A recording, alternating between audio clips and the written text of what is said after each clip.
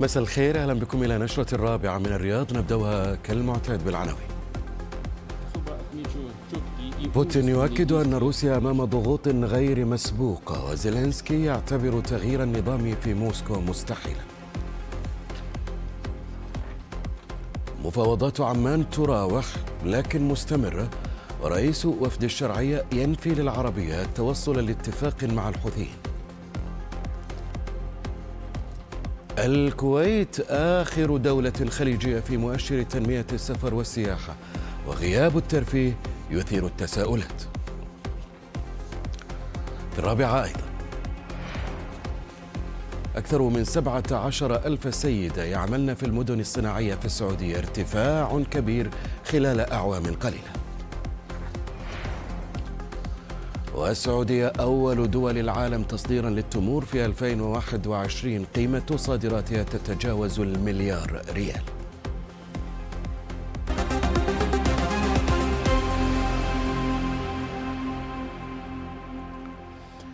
مع دخول العمليات العسكرية الروسية في أوكرانيا شهرها الرابع قال الرئيس الروسي فلاديمير بوتين إن حرس الحدود الروسي أحبط استفزازات بموازاة العمليات الخاصة في أوكرانيا.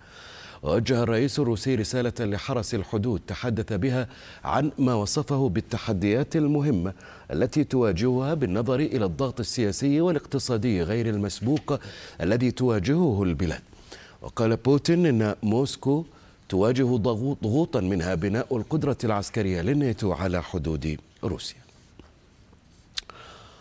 الرئيس الأوكراني فلاديمير زيلينسكي تحدث عن النظام في روسيا قائلا إن تغيير نظام بوتين لا يزال مستحيلا ومشيرا إلى أن الرئيس الأوكراني أو مشيرا إلى أن فريق الحكم في موسكو متحد وتربطه عوامل كثيرة. وعبر زيلينسكي عن اعتقاده بأن الجميع في روسيا يخافون من نظيره الروسي فلاديمير بوتين. قالت وكالة تاس الروسية للأنباء أن سفينة دخلت ميناء مدينة ماريوبول الأوكرانية للمرة الأولى منذ أن استكملت روسيا سيطرتها على المدينة. وقال المتحدث باسم الميناء إن السفينة ستحمل 2700 طن من المعادن قبل أن تبحر باتجاه الشرق إلى مدينة روستوف الروسية. وبدورها اعتبرت ليوديميلا دينيسوفا أمينة المظالم المعنية بحقوق الإنسان في أوكرانيا أن روسيا لجأت إلى نهب المعادن بعد سرقة الحبوب الأوكرانية. وفي تطورات الحرب الروسية الأوكرانية أيضا قالت وزارة الدفاع الأوكرانية إنها ستحصل على صواريخ هاربون المضادة للسفن من الدنمارك وبريطانيا وهولندا. وأن بريطانيا وهولندا والدنمارك سيعملون على تزويد كييف بقاذفات أرضية. وأكدت الدفاع الأوكراني أن صواريخ هاربون المضادة للسفن ستساعدها في عمليات الدفاع في البحر الأسود. بوتين وحسب آخر التطورات العاجلة وفي اتصال هاتفي بحث مع نظيريه الألماني أولاف شولتز والفرنسي إيمانويل ماكرون الوضع الميداني في أوكرانيا وأسباب تعطل إمدادات الغذاء. وأكد بوتين في الاتصال الهاتفي أن العمليات العسكرية التي تقوم بها بلاده في أوكرانيا تتقيد بقواعد القانون الإنساني الدولي بصرامة وأضاف بوتين بأنه يعمل بجدية من أجل تأسيس حياة سلمية في ماريوبول ودونباس مجدد مجددا انفتاحه على الحوار رغم عدم جدية كييف حسب رأي وأكدت وكالة رايا نوفوستي الحكومية أن بوتين شرح للمستشار الألماني والرئيس الفرنسي الأسباب الحقيقية التي تعيق وصول القمح الأوكراني والروسي للأسواق العالمية. وطالب بوتين بإزالة العقوبات المفروضة على بلاده بهدف السماح للأسمدة والمنتجات الزراعية الروسية للعودة للأسواق العالمية بهدف تخفيف أزمة الغذاء التي يمر بها العالم. من القاهرة ينضم إلينا المحلل العسكري اللواء الدكتور سمير فرج. اللواء سمير أهلا وسهلا بك. معي في نشرة الرابعة. أولا دعنا نقرأ في آخر الأخبار العاجلة. الاتصال الهاتفي الذي جمع بوتين بماكرون والمستشار الألماني شولز بوتين قال بأنه على استعداد لفتح الحوار مع أوكرانيا سياسيا. هل هناك مجال لأي حراك سياسي في هذا التوقيت الذي تتصاعد فيه العمليات العسكرية في الشرق؟ وأيضا عروض بتقديم أسلحة متطورة جدا أنظمة صاروخية بعيدة المدى وصواريخ مضادة للسفن من الولايات المتحدة والغرب. مساء الخير لحضرتك وكل السادة المشاهدين. في البداية أسمح ارد على السؤال الثاني. وهو الأسلحة المتطورة اللي هتستلمها أوكرانيا الفترة القادمة. إحنا قلنا قبل كده في مراحل سابقة إن الأسلحة اللي بتيجي لأوكرانيا هي أسلحة دفاعية كانت محدودة لا تتيح لأوكرانيا إنها تقوم بعمليات ضد القوات السوفيتية اللي تملك قوة نيرانية هائلة. النهارده لأول مرة الغرب بدأ يتخذ أسلوب تاني وهو يقدم أسلحة هجومية. الصواريخ الهربون اللي هيقدموها أعتقد دي هتبقى لها فايدة كبيرة جدا للقوات الأوكرانية خاصة أن القتال القادم للقوات الروسية هيكون الاقتحام والاستيلاء على أوديسا عشان لاستكمال السيطرة على البحر الأسود. فدي بلا شك هيكون لها قيمة كبيرة جدا. ولكن لازم نبقى عارفين إن مش معنى السلاح ده يجي إن إحنا قادرين على الاستيلاء عليه فورا. السلاح هيجي عايز تدريب على العناصر بتاعته عايز إمكانيات فنية عايز ورش عايز صيانة عايز كل الحاجات دي فهتاخد وقت مش زي ما إحنا فاكرين. نتكلم على بعد كده السؤال الثاني وهو هل روسيا مستعدة إنها تدخل في مفاوضات سياسية؟ دايما إحنا كعسكريين بنقول الذي يحكم المفاوضات السياسية هي الوضع على الأرض. وضع قواتي على الأرض. أقول إمتى هبدا هذه المفاوضات؟ والنقط اللي أنا هناقشها. فأنا أعتقد حتى لو أوكرانيا وافقت تنفذ المفاوضات. السياسية م. روسيا هتأجلها إلى أن تنهي استيلائها على أوديسا بالنسبة للأسلحة يعني انظمه الصواريخ بعيدة المدى وصواريخ هاربون المضادة للسفن إلى أي مدى يمكن آه. تغير من موازين القوى يعني أو قواعد اللعبة على الأرض ميدانيا وعسكريا لواسمي طيب أنا هكون ردي دقيق جدا. هذه الصواريخ بعيدة المدى لن تغير في أساليب القتال ولكن هتعقد وأنا بقول هتعقد أساليب القتال. ليه؟ الصواريخ بعيدة المدى دي أنت هتلاقي روسيا عندها الإس 400 والإس 300 صحيح. هتنشر دي على الحدود فبالتالي هتتصدى. وأنت عارف إن الصواريخ دي النهارده أو الإس 300 والإس 400 هي تقريبا أحسن صواريخ في العالم في هذا الاتجاه. يعني بعكس الباتريوت اللي هي الباتريوت الأمريكاني. فأنا بعتقدش إنها لن يكون لها تأثير م... لكن هتؤثر لكن مش التأثير اللي هيغير شكل العمليات إنما هتعقد العمليات في الفترة القادمة.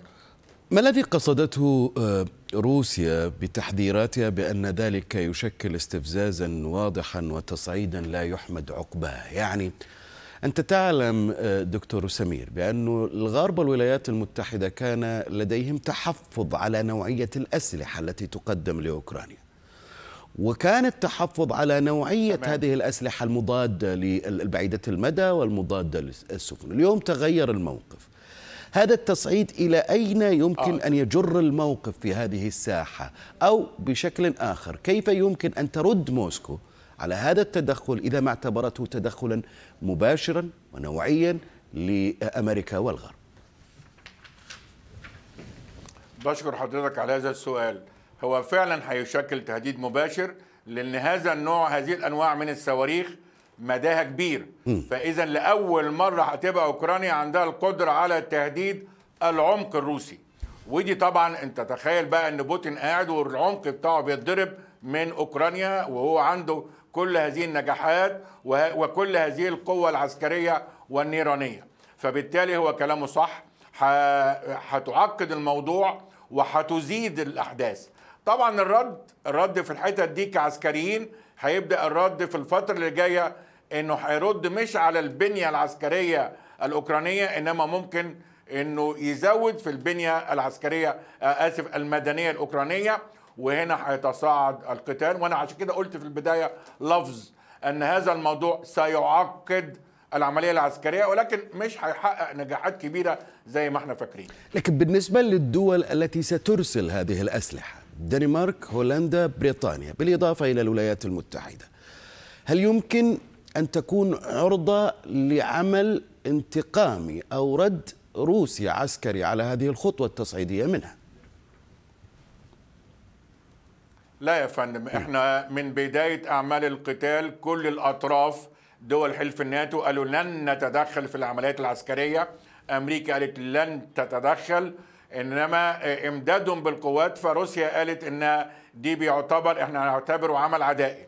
روسيا ليست نقول بالسذاجة إنها تفتح جبهات أخرى. وإحنا عندنا في القوات المسلحة الفكر بيقول لما يكون عندك أكثر من جبهة ركز على جبهة رئيسية وثبت بقية الجبهات. ولذلك لا أعتقد إن روسيا هتعمل أي أعمال عدائية أو انتقامية ضد هذه الدول اللي هي على الأقل دعمت. لكن أنت عندك الجبهة الجديدة اللي اتفتحت بالنسبة لفنلندا النهارده دي هتخش حلف الناتو 1300 كيلو على حدود مباشرة. دي اللي ممكن تمثل خطر كبير على الأمن القومي الروسي مستقبلا. شكرا لك. من القاهرة المحلل العسكري اللواء الدكتور سمير فرج.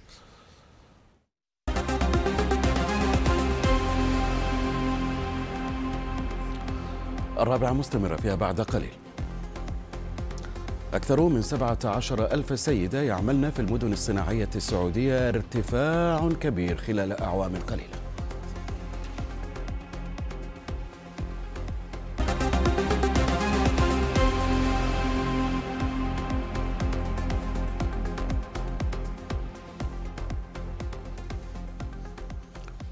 أهلا بكم من جديد. في الشأن اليمني حذر بيان أصدرته كل من الولايات المتحدة وهولندا من استمرار أزمة الناقلة صافر ودعا البيان إلى دعم جهود الأمم المتحدة لمواجهة وتجنب التهديدات الاقتصادية والبيئية والإنسانية التي تشكلها ناقلة النفط صافر في منطقة البحر الأحمر. وشدد المشاركون في اجتماع على أهمية جمع 144 مليون دولار من أجل تمويل خطة الأمم المتحدة التشغيلية لتفريغ النفط من صافر إلى سفينة مؤقتة. وذكر بيان وزارة الخارجية الأمريكية أنه تم جمع ما يقرب من نصف الأموال المطلوبة لعملية الطوارئ. سياسيا أكد رئيس وفد الحكومة اليمنية الشرعية في مفاوضة عمان للعربية أن المشاورات مستمرة مع الحوثيين مشيرا إلى عدم الوصول إلى اتفاق مع الحوثيين حتى اللحظة. رئيس وفد الشرعية المفاوض عبر عن أمله بالوصول إلى اتفاق ينهي الحصار على أهالي تعز ما أشار مصدر قريب من المشاورات إلى أن الحوثيين لا يزالون يرفضون فتح الطرق الرئيسية التي أغلقتها الميليشيات عام 2015 المؤدية إلى مدينة تعز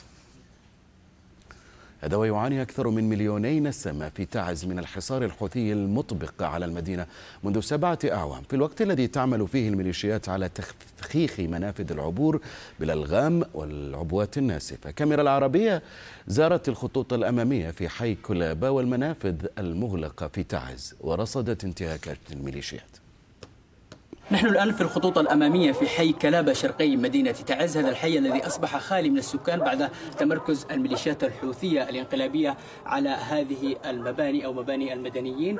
الميليشيات الحوثية طبعا من خلال هذا التمترس عملت على إطباق الحصار بشكل كامل على المدينة من هذه المنازل وكذلك من التباب المطلة على المدينة وهي هذه التباب تبت سفتيل والتباب المجاورة الأخرى. طبعا تمنع حركة المدنيين من الدخول إلى المدينة. عملت أيضا ميليشيات على قطع خطوط امدادات الميليشيات كما تلاحظون في الكاميرا من هذه الأماكن تحديدا. عملت الميليشيات على بناء الحواجز الترابية وكذلك الخرسانات الإسمنتية في هذه الخطوط الشرقية. تحديدا هو خط صالة. الحوبان وكذلك خط كلابه الحوبان. الآن لا أحد يستطيع طبعا العبور من هذا المكان. أيضا عملت الميليشيات على تفخيخ هذه الطرقات بالعبوات الناسفة والألغام. معنا هنا أحد أفراد القوات الحكومية يحدثنا عن الانتهاكات الحوثية التي طالت المدنيين في هذا الحي وكيف زرعت الألغام والعبوات الناسفة داخل هذا الحي. أطنان من المتفجرات.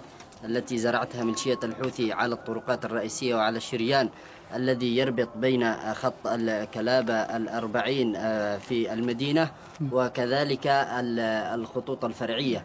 هي تزرع الأغام بشكل عشوائي حتى لا يمر حيوان أو أو إنسان أو أي أي بشر. وكذلك في هذه العمارة المطلة الخالية من السكان في هذا الحي الواسع تتمركز قناصات الميليشيات الانقلابية لكي تقنص كل ما مر أمامها سواء حيوان أو إنسان أو أطفال أو نساء. لا تميز بين الفئات العمرية.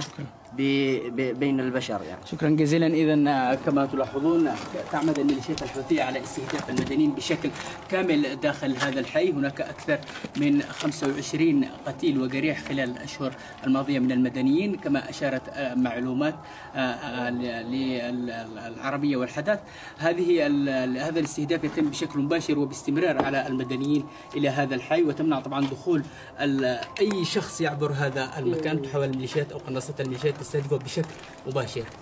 سعيد لقناتي العربية والحدث من المنفذ الشرقي لمدينة تعز؟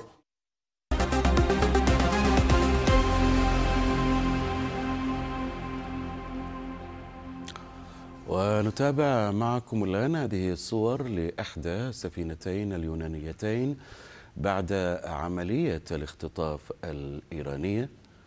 هذه العملية التي قالت أو سيطرت عليها أو سيطر عليها الحرس الثوري الإيراني بالأمس على سفينتين يونانيتين ردا على السيطرة على سفينة إيرانية كانت في اليونان أو في المياه الإقليمية اليونانية.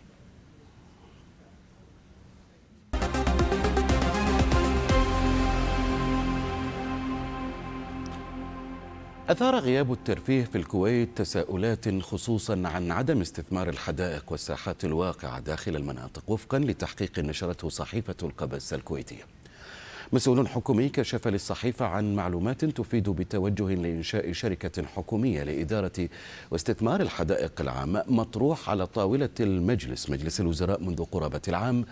في مطلع سبتمبر عام 2021 كلف مجلس الوزراء عددا من الجهات الحكومية بوضع تصوراتها حول إمكانية استثمار الحدائق العامة.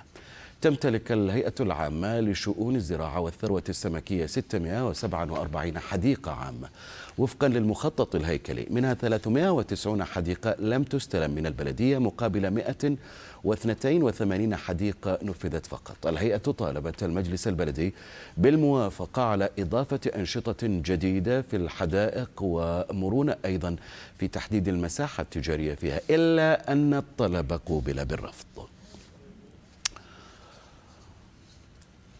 وكانت الكويت احتلت المركز الأخير من بين الدول الخليجية والسادسة والثمانين دوليا وذلك وفق مؤشر تنمية السفر والسياحة الصادر عن المنتدى الاقتصادي العالمي في العام الماضي 2021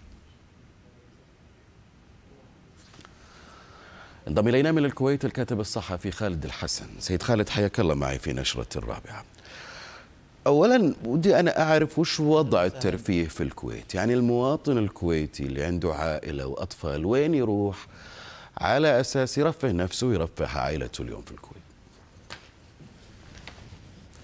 أهلا وسهلا أخوي خالد. حياك. الحقيقة يعني للأسف اليوم ملف الترفيه بات هاجس يطارد الأطفال وكبار السن والعوائل داخل الكويت وحتى المقيمين.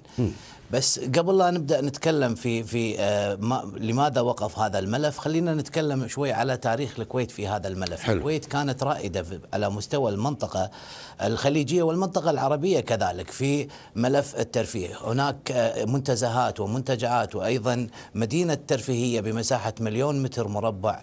تم افتتاحها عام 1984 بالإضافة إلى آه صالة تزلق كانت موجودة وأعتقد إنها هي كانت الوحيدة في داخل المنطقة. م. بالإضافة إلى وسائل الترفيه الأخرى.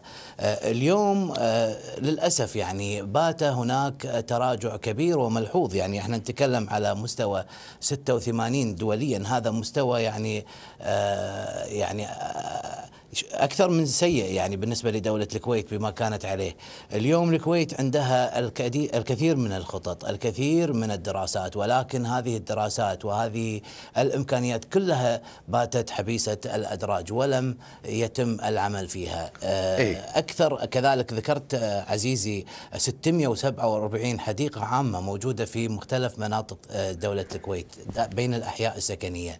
هذه عليها يعني الكثير من الكلام والكثير أيضا من البرامج التي كانت حتعمل في في القريب العاجل ولكن للأسف تم تعطيلها من قبل المجلس البلدي. خليني أسألك ليش تم التعطيل؟ خلينا نشوف وش اللي حاصل، يعني هل هذا التعطيل أو كما يراه البعض إغلاق باب الترفيه في الكويت هل هو أمر متعمد عشان مثلا ما يأثر في أرباح المجمعات التجارية مثل ما يقول البعض أم أنه مثلا نتيجة سوء إدارة مزمنة لهذا القطاع من قبل كثير من الأطراف ومنها الحكومة يعني؟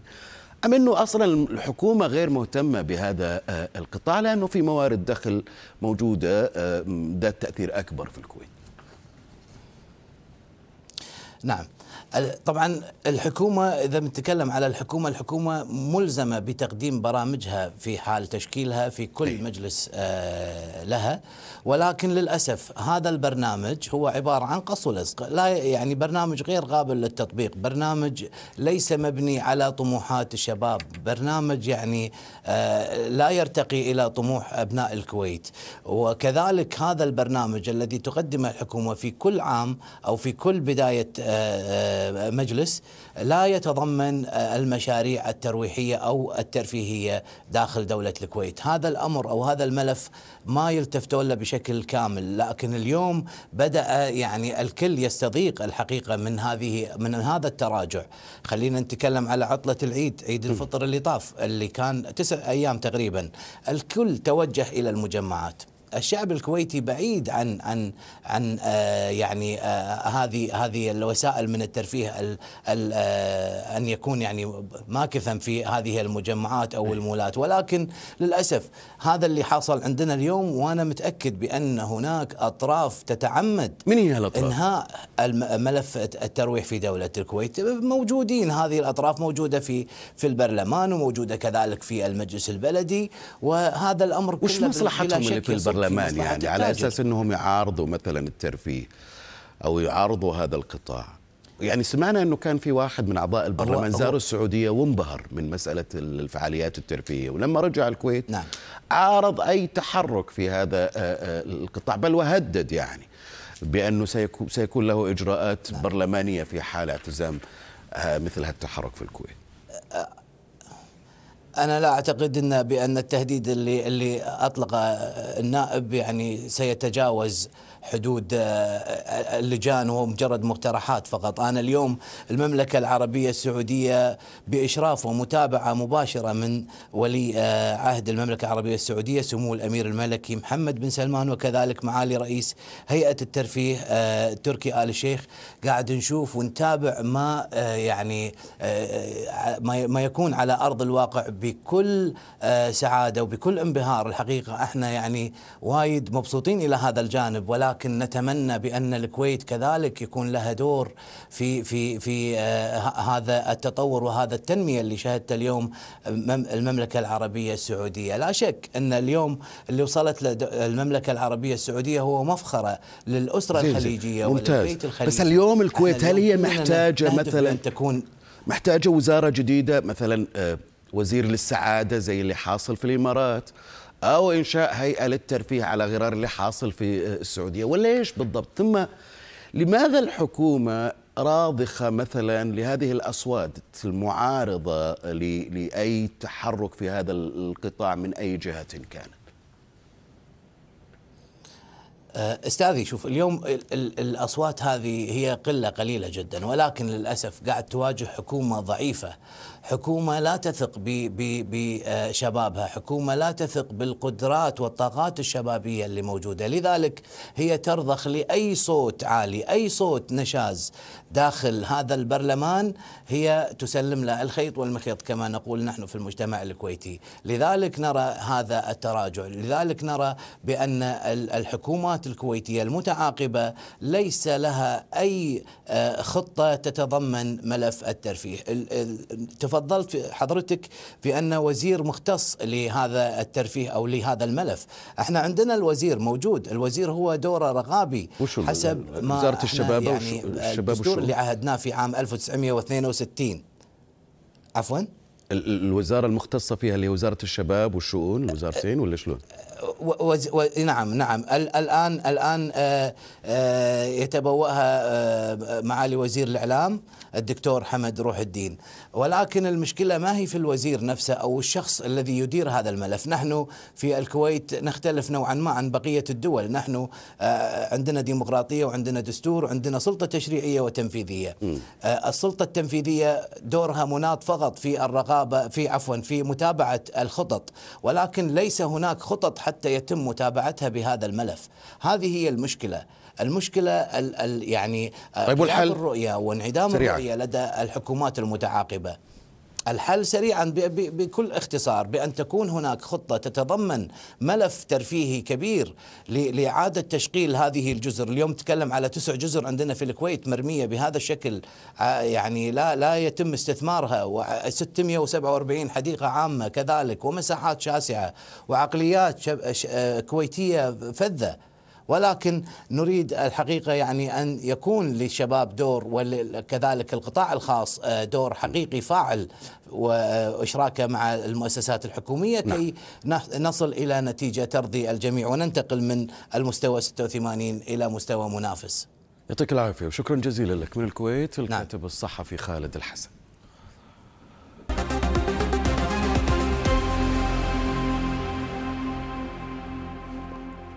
ارتفاع متزايد تشهده المدن الصناعية في السعودية في عدد العاملات من السيدات السعوديات في ظل تأكيدات حكومية بتبني تقنيات الصناعة المتقدمة وتقليل الاعتماد على اليد العاملة قليلة المهارات. عبد الرحمن العصيمي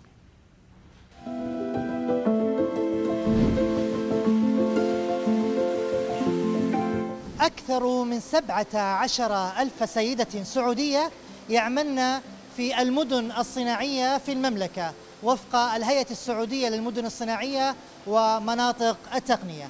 هنا في المنطقة الشرقية لوحدها ما يزيد عن 2100 عاملة يتوزعن على مئات المصانع في عدة تخصصات.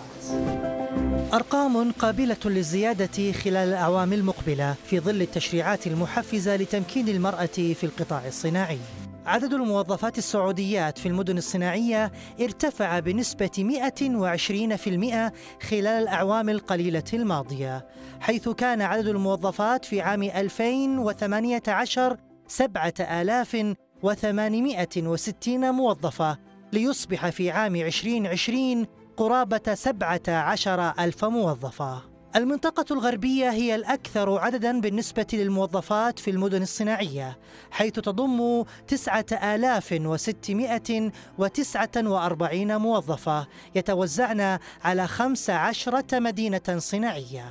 المنطقة الوسطى تأتي في المرتبة الثانية بإجمالي يصل إلى 5023 موظفة تعملن في 12 مدينة صناعية. الحمد لله شغل بسيط وراحة. مهنة آه، أخذ خبرات آه، أشياء جديدة نتعلمها آلات. يعني إحنا ما مو متعودين إن نشتغل في آلات وكذا. الحمد لله يعني. عندنا قناعه شديدة بعطاء المرأة. ابتدأنا هنا زي ما أنت عارف زي أي مصنع في في السوق. واليوم إحنا عندنا كادر يدير عملية الإنتاج مكون من 40 امرأة. ناهيك عن التمكين الشديد للمرأة أيضا في صميم الهيكل الإداري الأعلى للشركة عندنا. هيئة المدن الصناعية ومناطق التقنية كانت قد أطلقت استراتيجية لتمكين الصناعة والمساهمة في زيادة المحتوى المحلي عبر تفعيل دور المرأة في التنمية الصناعية طبقا لرؤية السعودية 2030 الرامية لتعزيز دورهن في الاقتصاد الوطني وتوفير بيئة نموذجية بالشراكة مع القطاعين العام والخاص. عبد الرحمن العصيمي من المنطقة الشرقية العربية. في سلطنة عمان كشف الرئيس التنفيذي للمؤسسة العامة للمناطق الصناعية مدائن عن تنفيذ المؤسسة حاليا ما يزيد عن 30 مشروعا حيويا موزعة على 11 مدينة صناعية. في مختلف محافظات السلطنة بتكلفة إجمالية تتجاوز 200 مليون ريال عماني وأشار إلى تمكن السلطنة من استقطاب وتوطين 130 مشروعا صناعيا وتجاريا وخدميا خلال الربع الأول من العام الجاري بحجم استثمارات يصل إلى 64 مليون ريال عماني. في الرابعة أيضا لكن بعد الفاصل. خلال ثلاث سنوات ونصف توثيق ثلاثة ملايين عقد إيجار سكني إلكترونيا في السعودية.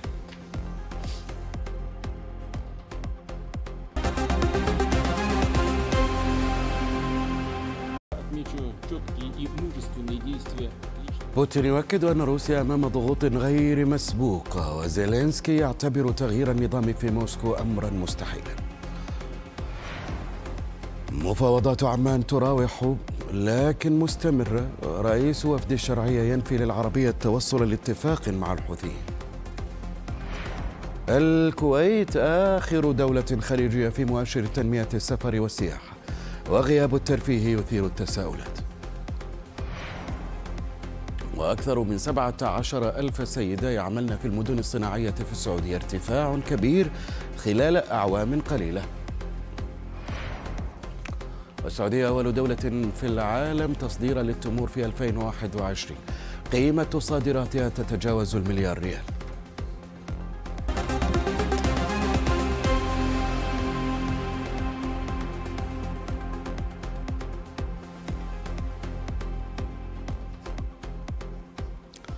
نعود بعد الترحيب بكم مرة أخرى للتذكير بما أكده رئيس وفد الحكومة اليمنية الشرعية في مفاوضات عمان العربية بأن المشاورات مستمرة مع الحوثيين وأيضا أشار إلى عدم الوصول إلى اتفاق مع الحوثيين حتى اللحظة. رئيس وفد الشرعية المفاوض عبر عن أمله بالوصول إلى اتفاق ينهي الحصار عن أهالي تعز. فيما أشار مصدر قريب من المشاورات إلى أن الحوثيين لا يزالون يرفضون فتح الطرق الرئيسية التي أغلقتها الميليشيات عام 2015 والمؤدية إلى مدينة تعز.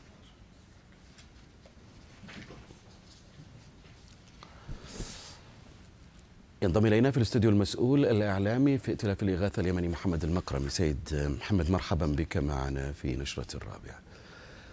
المفاوضات ما زالت حسب الكثير من المراقبين تراوح مكانها لا تقدم وخاصة فيما يتعلق بفتح الطرق في تعز تنفيذ الاتفاق الهدنة. ما المقترحات التي يتم مناقشتها الآن على الطاولة بين المتفاوضين في عمان؟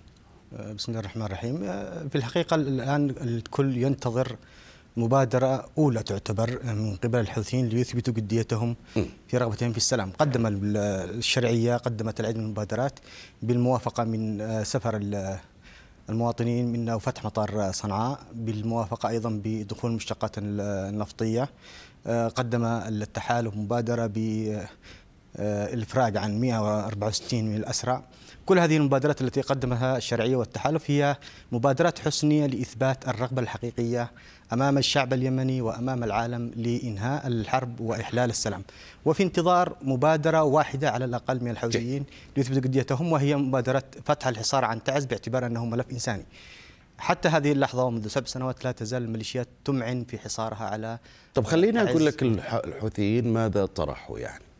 مصدر قريب من المشاورات قال بأن الحوثيين لا زالوا يرفضون فتح الطريق الرئيسي التي أغلقتها الميليشيات في 2015 لكن الحوثي قدم في اجتماع مساء الجمعة مقترحا بفتح منفذ عبر شارع الستين في شمال مدينة تعز يرتبط بطريق صنعاء في منطقة مفرق الذكرة ودون المرور في محافظة أو بمنطقة الحوبان مقابل فتح طريق بين محافظتي لحج وتعز جنوبا يمتد من منطقة كرش أو كرشن إلى منطقة الزاهدة ولا يسمح له بالدخول إلى مدينة تعز عبر ضاحية حوبان.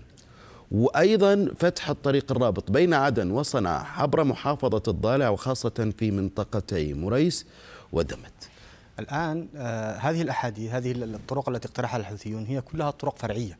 وطرق جبلية لا تفترق لا تفرق عن الطرق الأخرى التي مثل هيئة العبد وما تسمى بهيئة الموت وأخرى والطرق الأخرى الوعرة. الآن المطالب الوفد الشرعية يطالب بفتح طرق رئيسية كانت مفتوحة قبل الحرب. هم يرفضون ذلك ووضعوا هذا الطرح. هنا هنا هنا هنا المفاوضون من الحكومة الشرعية. كيف سيتعاملوا مع هذا الطرح؟ ما الخيارات التي هذا التفاف هذا أي. التفاف التفاف على مطالب الحكومة الشرعية التفاف على مطالب المدنيين لأن الحوثيون يصرون على البقاء أو في منطقة الحوبان لأنها مدينة صناعية. هم سيطروا على هذه المنطقة هي في محافظة تعز آه، لأنها الشريان الاقتصادي. كل المصانع والشركات والمؤسسات الاقتصادية في هذه المدينة. وهم يرفضون لأنهم آه، يتحصلون على جبايات آه، يتحصلون على جمارك يتحصلون على ضرائب يتحصلون على العديد. لا لا يريدون أن آه، يفلتوا يستطيعون أن أن يتنازلوا عن أي منطقة إلا هذه المنطقة الصناعية. لذلك هم قاموا بتقسيم أو بوضع الحواجز العسكرية والحواجز الأمنية طيب. لعدم دخول هذه الحكومة برأيك كيف سترد على هذا المقترح؟ ثم الأمر يبدو أن الحوثي من خلال هذا الطرح يرى وهو يناور. هناك اتفاق هدنة مقابل فتح الطرق. الحوثيين لا يريدون الالتزام بفتح هذا الطرق. وبالتالي من يرى الأمر يشعر بأن الحوثي سيطيل من أمد التفاوض في ملف تعز وسيساوم به خلال الفترة القادمة. هل الحكومة يمكن أن تبتلع؟ هكذا تحرك من قبل الحوثيين يعني في هذا الملف الحساس. هو كان الأولى أولا أن لا يتم فتح أي أو تقديم أي مبادرة إلا مقابل مبادرة أخرى. أن لا يتم فتح مطار صنعاء إلا مقابل فتح الحصار عن تعز. لا يتم السماح بالمنشقات النفطية إلا مقابل. أما أن يتم الآن رموا الكرة في ملعب الحوثيين وفي انتظار مبادرة من الحوثيين. وهذا أمر آه، خطير. خاطئ في سياسة المفاوضات. أن آه، ترمي بكل الأوراق ثم تترك ورقة لخصمك بأن يقدم مبادرات. الحوثي لن يقدم مبادرة ولن يتنازل عن حصار تعز بهذه السهولة إلا بتحقيق مكاسب أخرى. لذلك هو الآن حاول أن يماطل حتى تنتهي نحن الآن تفصلنا عن نهاية الهدنة أربعة أيام. لذلك هو يريد تجديد الهدنة ويريد أيضا الحصول على مكاسب سياسية أخرى مقابل فتح الحصار عن تعز، لذلك سعى إلى الالتفاف الأمر الآن بيد مجلس القيادة لا. الرئاسي بالخطط البديلة لهذه المراوغات. اليوم الميليشيات انكشفت أمام العالم انكشفت أمام الشعب اليمني رغم أنها كانت تدعي المظلومية وتدعي أنها توقع حرب حصار وأنها وأنها. اليوم الجميع قدم مبادرة لإحلال السلام والميليشيات رفضت. اذا يجب أن تكون هناك خطط واضح. أخرى بديلة لمجلس القيادة لإنقاذ المدنيين في محافظة تعز وإنقاذ المدنيين أيضا في كل المحافظات اليمنيه شكرا جزيلا لك. المسؤول الإعلامي في ائتلاف الاغاثه اليمني محمد المقرمي.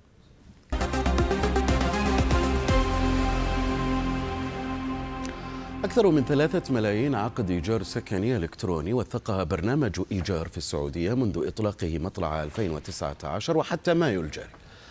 البرنامج أوضح أن إجمالي العقود السكنية الموثقة تصل إلى 45% من حجم سوق الوحدات الإيجارية السكنية المشغولة في السعودية موضحا بأن الارتقاء بقطاع الإيجار العقاري ورفع كفاءته ساهم في تحسين البيئة الاستثمارية. الأمر الذي نتج عنه انخفاض 50% في القضايا الإيجارية.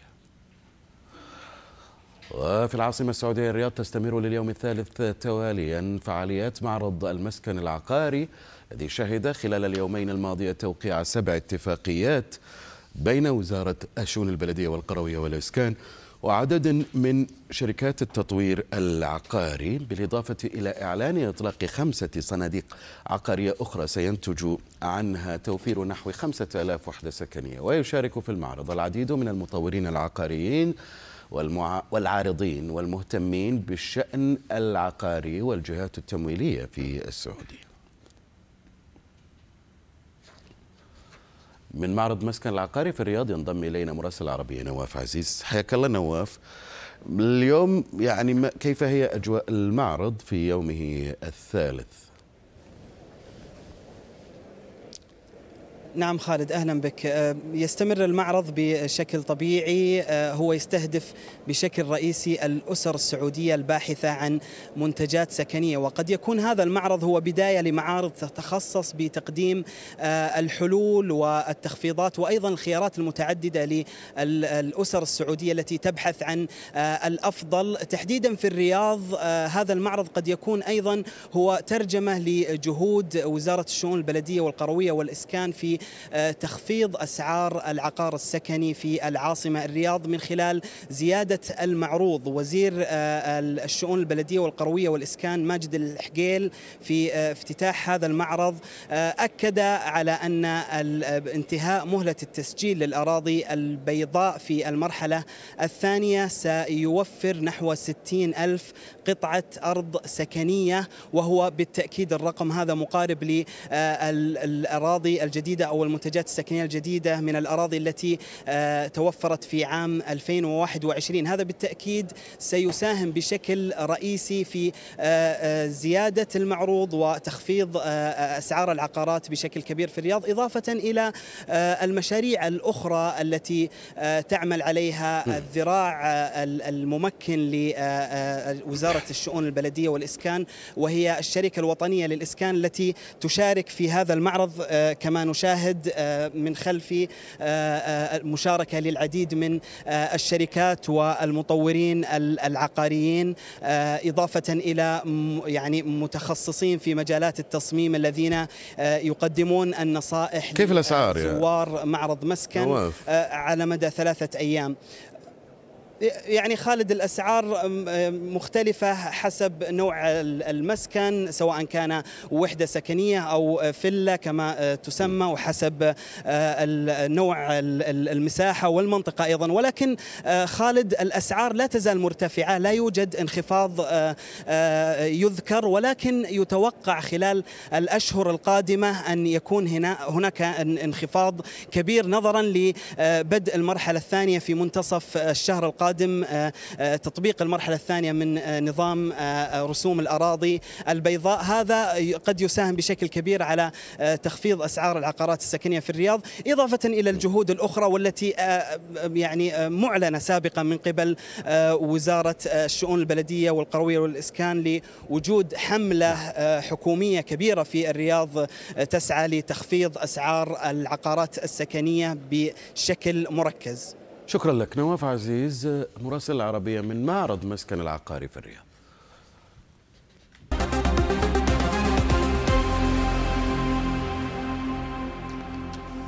تمكنت السعودية من تحقيق المرتبة الأولى عالميا في صادرات التمور خلال العام الماضي 2021 من حيث القيمة السوقية.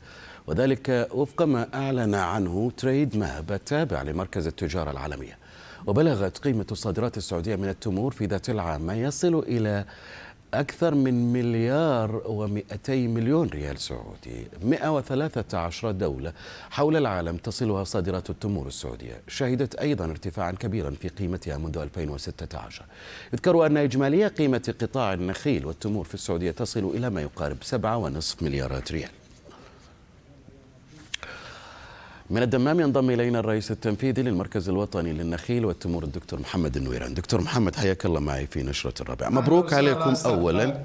ودي أعرف وش كلمة السر؟ يعني ليش احتلت السعودية المركز الأول اليوم عالميا في تصدير التمور شكرا طارق على الاستضافة وهنئ اولا القيادة الرشيدة والشعب السعودي الكريم بهذا الإنجاز. وهنئ وأخص بالتهنئة منتجي ومصدري التمور. الذين نفخر بمنتجاتهم اللي طلعت ل 113 دولة. أكيد كلمة السر أو ما ما تفضلت به كلمة السر هو العمل المتناغم بين القطاع الحكومي والقطاع الخاص أو منتجي ومصدري التمور. عملنا مع شركائنا خلال الخمس أعوام الماضية وحققنا ولله الحمد تقريبا 110% خلال نمو في صادرات التمور خلال الخمس أعوام الماضية صادراتنا حققت أعلى نمو سنوي عالمي ولله الحمد معدل نمو وصلنا 13% ولله الحمد ووصلنا تقريبا إلى 113 دولة بقيمة تجاوز مليار و200 مليون ريال. أكيد هذه كلمة السر إحنا دائما اللي تفضلت فيها أو المطلوبه هي العمل المتناغم بين القطاع الحكومي والخاص. هناك جهود دولية كثيرة. جيد. إذا تسمح لي أي أنا ودي أعرف المجلس الدولي للتمور اللي أنشأته كذلك السعودية إلى أي مدى كان له دور في تحقيق هذه القفزة في المرتبة اللي وصلت لها السعودية اليوم؟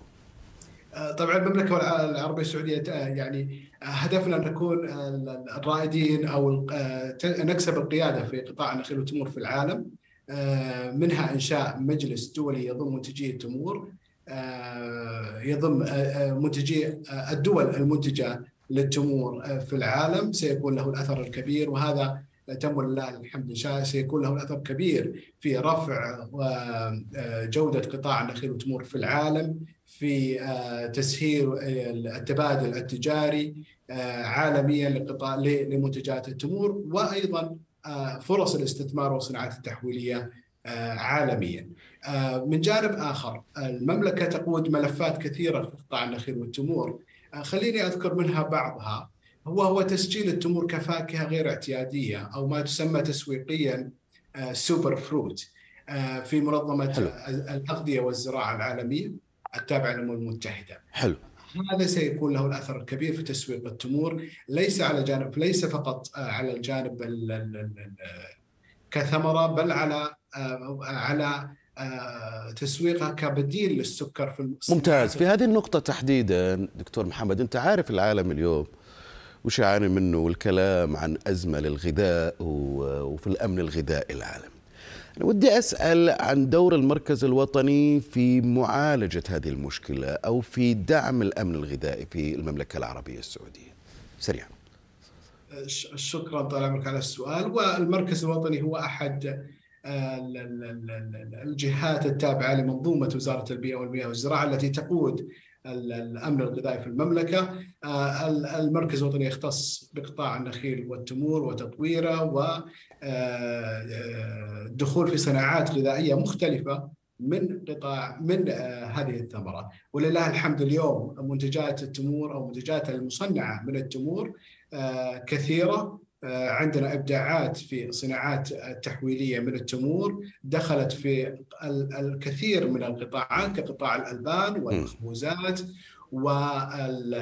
والكثير من الصناعات الغذائية كبديل للسكر. أيضا خامات النخيل أو ما تسمى أو حتى في الأعلاف. خامات النخيل وهي ما يسمى مخلفات النخيل دخلت في صناعات عديدة كالأثاث وغيرها. وآخر ما توصلت إليه هو الدخول في الحفر في المساهمة في الحفر البترولي. ممتاز. أشكرك شكر جزيل من الدمام الرئيس التنفيذي للمركز الوطني للنخيل والتمور الدكتور محمد نويران.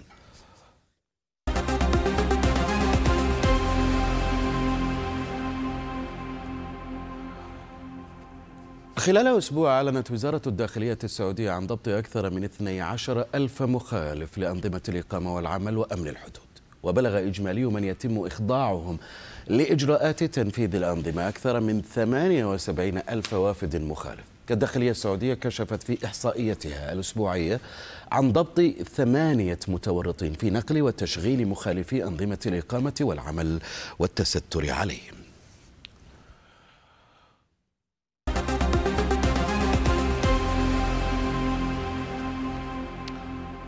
والى مهرجان كان السينمائي حيث قدم المخرج الدنماركي من أصل إيراني علي عباس فيلم العنكبوت المقدس. قائلا إن الفيلم يكشف وجه إيران الحقيقي. نتابع.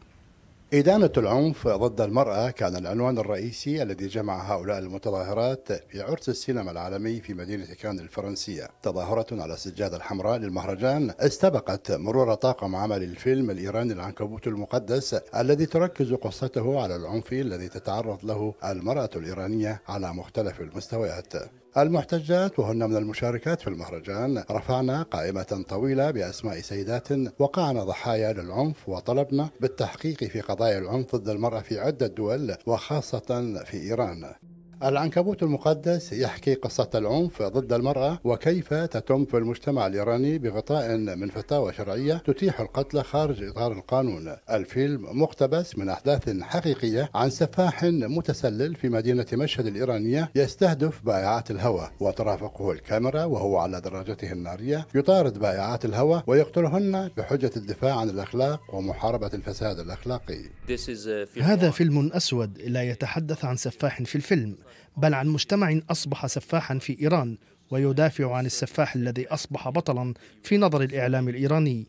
مشاهد الفيلم صورت في الأردن ويستمر القاتل سعيد هاني في مطاردة ضحاياه حتى تثير القضايا التي تقيد ضد مجهول اهتمام الصحفية الاستقصائية رحيمي التي تقود حملة تؤدي للقبض على القاتل. وللمفاجأة تصور نهاية الفيلم دعما يتلقاه القاتل بحجة أنه كان يقوم بواجب ديني لمحاربة الفساد. چطوریه که تا الان أصلا هیچ اشاره به این موضوع نکردیم نقاد المهرجان وصناع السينما أشادوا بالفيلم لكشف حالات ظلت مخفية منها استهداف المرأة في إيران من العنف المنزلي وحالات القتل والقمع التي يتعرضن لها ويحلل كراهية النساء المتفشية في المجتمع الإيراني كما يلقي الضوء على فساد القضاء وانتشار الرشوة بين ضباط الشرطة والأهم انتشار فتاوى القتل. الفتاوى الدينية فوق القانون وتحقيق العدالة على هوى رجال الدين في بلد تحكمه الأمامة ومجتمع لا يرحم لمن يخرج عن قواعده الدينية. سعد المسعود العربية مهرجان كان السينمائي جنوب فرنسا. بثمانية آلاف جندي تستعد باريس لمباراة نهائي دوري أبطال أوروبا اليوم السبت بين ريال مدريد الإسباني وليفربول الإنجليزي. وسط حضور عشرات الآلاف من مشجعي الفريقين. نتابع تحتضن باريس نهائي دوري أبطال أوروبا بين فريقي ريال مدريد وليفربول. مباراة شاءت السياسة أن تنقلها من سان بطرسبورغ في روسيا إلى فرنسا بسبب العقوبات المفروضة على روسيا. هذا القرار بغت باريس لكنها نجحت بإنهاء تجهيز أرضية الملعب قبل 48 ساعة فقط من موعد اللقاء. ولأن مصائب قوم عند قوم فوائد ستشهد الاقتصادات صغيرة مثل المقاهي والفنادق ارتفاعا هائلا في الأرباح وفي الأسعار إذ قفز سعر الغرفة الواحدة في الفنادق الباريسية من 100 يورو لليلة إلى 500 في حين يتوقع أصحاب المقاهي ما بين 30 إلى 35 ألف زبون. We came from London to the game. أتيت من لندن من أجل المباراة مع كثير من المشجعين. الأجواء هنا رائعة جدا. أعتقد أن ريال مدريد قدم موسما رائعا وسوف يختمه بطريقة رائعة. أنا مقتنع بذلك.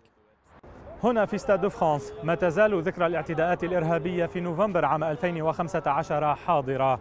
فمحاكمة المتهمين ما تزال جارية ما دفع السلطات الفرنسية إلى اتخاذ إجراءات أمنية استثنائية. ثمانية ألاف شرطي سينتشرون لحفظ الأمن وسيطبقون إجراءات مشددة. سيمنع استهلاك الكحول قبل المباراة وستغلق جادة الشانزليزيه هنا. المكان المفضل لاحتفالات جماهير كرة القدم في فرنسا. أنا جاي من السعودية خصيصا عشان أحضر هذه المباراة. وصراحة لأنها مباراة قوية جدا بين الطرفين. ومباراة حامية بتكون إن شاء الله وأنا أتمنى إن شاء الله مدريد يفوز في هذه البطولة. الجماهير الإسبانية وصلت بالفعل إلى باريس وكذلك جماهير النادي الإنجليزي. يعرف عن الأخيرة سهولة أن يتحول حماسها إلى عنف. هذا ما تتوقعه الشرطة الفرنسية وما ستحاول ضبطه. فادي الدهوك العربية باريس. ختام الرابعة بالعناوين. بوتين يؤكد أن روسيا أمام ضغوط غير مسبوقة وزيلينسكي يعتبر تغيير النظام في موسكو أمرا مستحيلا. مفاوضات عمان تراوح مكانها لكن تستمر ورئيس وفد الشرعية ينفي للعربية التوصل للاتفاق مع الحوثيين الكويت آخر دولة خليجية في مؤشر تنمية السفر والسياحة وغياب الترفيه يثير التساؤلات. أكثر من 17 ألف سيدة يعملن في المدن الصناعية في السعودية ارتفاع كبير خلال أعوام قليلة. والسعودية الأولى في العالم تصديرا للتمور في 2021 قيمة الصادرات تتجاوز مليار ريال. إلى اللقاء.